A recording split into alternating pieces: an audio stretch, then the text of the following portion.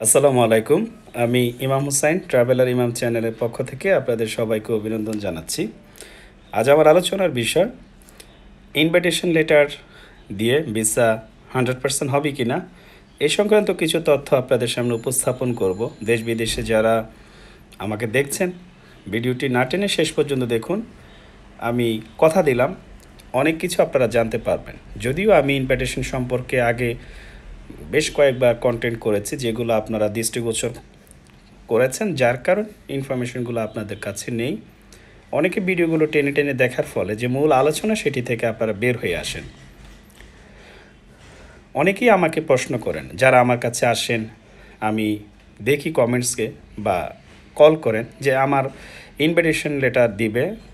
ধরুন, আমেরিকাতে, কানাডাতে সেনজেনভুক্ত যে সকল দেশগুলো আছে সেখান থেকে আমাকে একজন বন্ধু আছেন, বান্ধবী আছেন, তিনি আমাকে ইনভিটেশন লেটার দিবে, এক্ষেত্রে আমি বিশ্বাস শতভাগ পাবো কি না তখন আমি ওনাদেরকে জিজ্ঞাসা করি, যারা আমাকে কল করেন, আমি তাদেরকে প্রতি উত্তরে বলি, আপনি কি করেন? বা আপনার বয়স কত?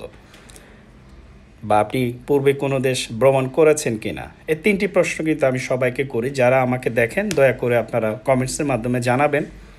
একজন এজেন্সির মালিক হিসেবে যেটা আমার করা উচিত বা করণীয় আপনার ট্রাভেল হিস্ট্রি থাকুক বা না থাকুক, বয়স থাকুক বা না থাকুক, সেক্ষেত্রে আপনি যখন আমাকে কল করেছেন বা আমার কাছে আসছেন, আমার উচিত আপনার ফাইলটি প্রসেস করে দেওয়া।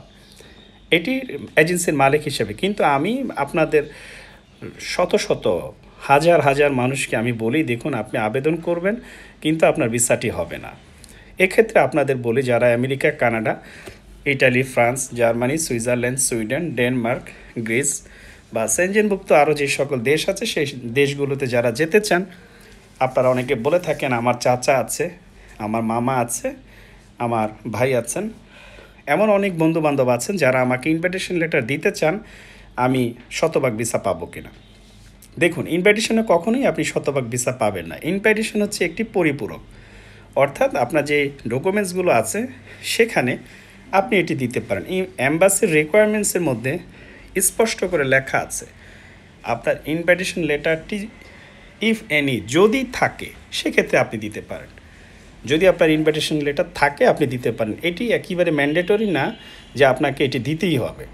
তো অনেকে মনে করেন বা অনেকে এই বিভোর হয়ে আছেন, মনে করেন যে আমার ইনভিটেশন লেটার দিলে আমাকে শতভাগ ভিসা দিতে তারা বাধ্য। দেখুন, আসলে ইনভাইটেশন লেটারে কখনোই ভিসা হয় না। যদি ইনভিটেশন লেটারে ভিসা হতো, বাংলাদেশি যে সকল ভাইয়েরা পৃথিবীর ফার্স্ট ওয়ার্ল্ড কান্ট্রিতে যারা বসবাস করছেন, তাহলে তো ওনারা ইনভিটেশন লেটার দিয়ে তাদের পরিবার, আত্মীয় স্বজন, বন্ধুবান্ধব সমানে নিয়ে যেতে পারতেন। এই বিষয়টি আপনাদের বুঝতে হবে। আমি আরও একবার বলছি ইনভিটেশন লেটারে যদি ভিসা হতো, তাহলে যারা ইউরোপ, আমেরিকাতে যারা বসবাস করছেন, তারা অগণিত মানুষ, গণহারে মানুষ তারা নিতে পারতেন। তাহলে তো তার পরিবারের মানুষকে তারা নিতে পারছে না কেন? এই বিষয়টি আপনাদের অবশ্যই মনে রাখতে হবে। যারা মনে করছেন ইনভিটেশন লেটার দিলে ভিসা হবে, এমন হয় যে সেই দেশে আপনি কোনো কোম্পানির সাথে বিজনেস করছেন, সেই কোম্পানি আপনাকে একটি বিজনেস ইনভিটেশন লেটার দিল, যেখানে লেখা থাকবে আপনার কোম্পানির নাম, আপনার নাম পাসপোর্ট নাম্বার সমস্ত ডিটেলস এবং যিনি দিবেন তাদের কোম্পানির নাম, পদবি, সমস্ত ডিটেলস সেখানে লেখা থাকবে। সেটি অ্যাম্বাসি চাইলে পরবর্তীতে যাচাই বাছাই করে আপনাকে বিজনেস ইনভিটেশনটি অ্যাকসেপ্ট করে ভিসা প্রদান করতে পারে।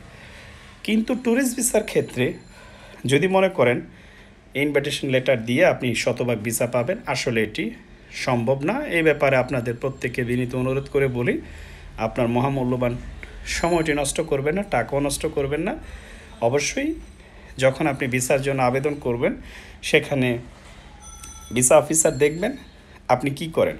আপনার প্রফেশনালিজমটা কি? আপনি চাকরি করেন না ব্যবসা করে থাকেন?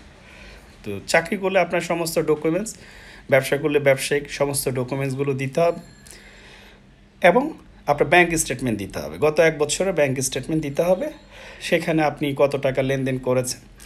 এমনও লোক আছে যারা তিন চার কোটি টাকা, আমার পূর্বের ভিডিওটি দেখলে আপনারা জানতে পারবেন তিন চার কোটি টাকা আছে, কিন্তু ওনার অ্যাকাউন্টে লেনদেন নেই। এটি প্রায় মৃত অ্যাকাউন্ট এটি কখনোই অ্যাম্বাসি গণ্য করে না, অবশ্যই আপনার লেনদেন থাকতে হবে। এবং সবথেকে গুরুত্বপূর্ণ বিষয় হচ্ছে আপনার ট্রাভেল হিস্ট্রি থাকতে হবে।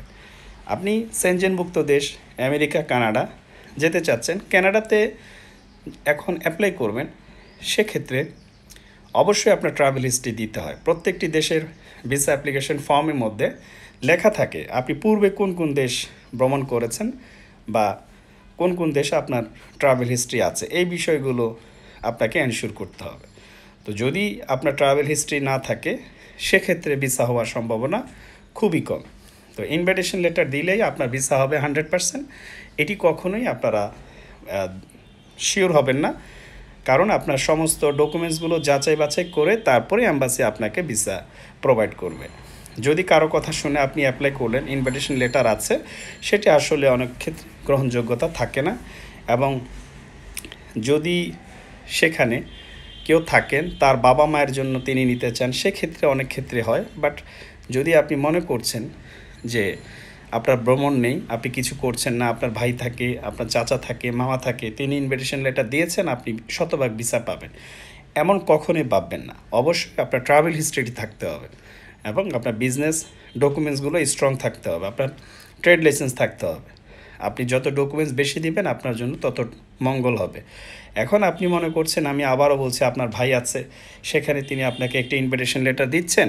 সেই ইনভিটেশন লেটারে আপনি ভিসার জন্য আবেদন করছেন এবং আপনি বলে বেড়াচ্ছেন যে আপনাকে একশো পার্সেন্ট ভিসা হবে। এটি আসলে কখনো সম্ভব না। এই বিষয়গুলো আপনাদের প্রত্যেককে আমি দৃষ্টি আকর্ষণ করে বলছি এবং এটি শেয়ার করতে পারেন। শেয়ার কারণে হয়তো আপনার পরিবার আত্মীয় স্বজন বন্ধু বান্ধব যারা আছেন তারা উপকৃত হতে পারে এবং আমারও ভুল হতে পারে, তবে আমি যতটুকু কথা বলেছি, আশা করি আল্লাহর রহমতে ভুল হওয়ার সম্ভাবনা নেই।